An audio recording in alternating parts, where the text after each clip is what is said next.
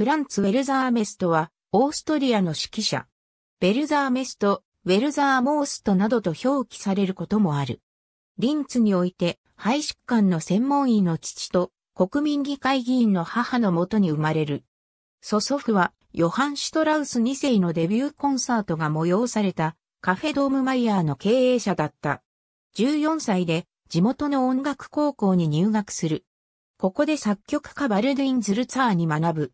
当初の志望は指揮者ではなくバイオリニストだった。ところが、1978年11月19日、シューベルト没後150周年記念日に、シューベルトのピアノ50奏曲、マスの演奏のため会場に向かう途中、交通事故に遭遇して、背骨を3カ所も折る重傷を負い、バイオリニスト志望の断念を余儀なくされた。そして志望指揮者に転校し、ミュンヘン音楽大学でヘルマン・ミヒャイルに指揮法を指示。1979年のカラヤン国際指揮者コンクールでは参加者中最年少ながらセミファイナリストの一人に選ばれる。はじめは地元リンツの、その後はオーストリア全体のユースオーケストラの指導を通じて指揮者としての経験を培う日々を送る中、演奏を聞いたアンドレアス・フォン・ベニヒセン男爵がマネージャーになることを申し出、1985年には養子縁組関係を結ぶ。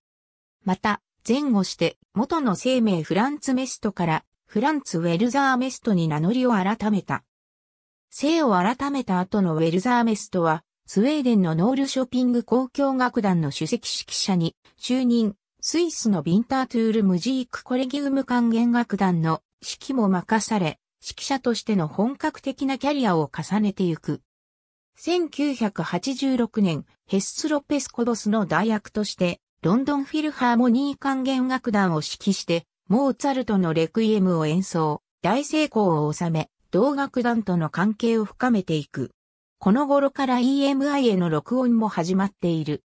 1990年、クラウス・テンシュテットの後任として、ロンドンフィルの音楽監督に就任する。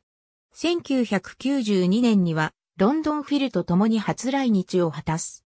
この時、同行していた前音楽監督のテンシュテッドが、急病により自身のすべての演奏スケジュールをキャンセルして帰国したが、テンシュテッドが指揮する予定だったコンサートも含めて、ロンドンフィル滞日中の全コンサートをウェルザーメストが一人で指揮した。その後、1995年にもロンドンフィルと来日している。ウェルザーメストの音楽監督就任後、リーダーのデイビッド・ノーランをはじめロンドンフィルの主要学院が一斉に対談し、強固なパートナーシップを築くまでには至らなかった。二度目の来日から間もなくロンドンフィル音楽監督を辞任し、チューリヒ歌劇場の音楽監督に就任する。ここでの成果は目覚ましく、それまでやや地味な存在だった同歌劇場は、ドイツ圏でも有力なオペラハウスに躍進した。多くの公演映像が DVD で紹介されているほか、2008年には来日公演もしている。1998年にはウィーンフィルハーモニー管弦楽団の定期公演へのデビューを成功のうちに果たし、2002年からはアメリカの名門クリーブランド管弦楽団の音楽監督を務めている。2010年にはウィーン国立歌劇場の音楽総監督に就任した。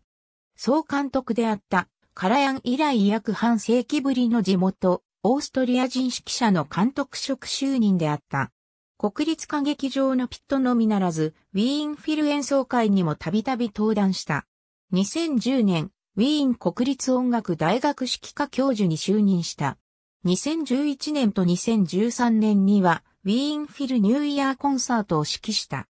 2014年9月、総監督との意見の対立から、ウィーン国立歌劇場音楽監督を突如辞任した。ありがとうございます。